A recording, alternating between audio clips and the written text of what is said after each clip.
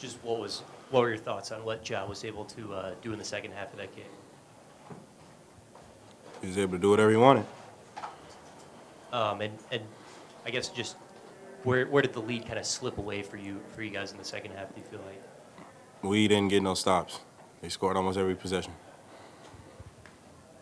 I guess just how tough was it for you just to get a rhythm tonight with the, the foul calls and just getting into foul trouble so early in the game? I mean, it was tough. Uh, we had other guys going though. And just uh, in a situation like that late in the game, just uh, how did you feel about the, the, the shots y'all were able to get and just the defense y'all played against y'all? Um, B was gone, so we was trying to find B. And I already said it. Ja was just able to get their spots. And Z, did it hurt just as much how many offensive rebounds they were able to get tonight?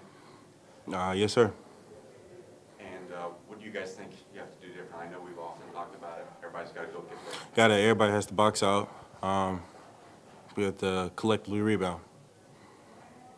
You talking about just them scoring so much in the second half. What did you think was kind of the source of some of the breakdowns? Uh, he John was able to get downhill a lot. Um, and him doing that opened up the game for the rest of them.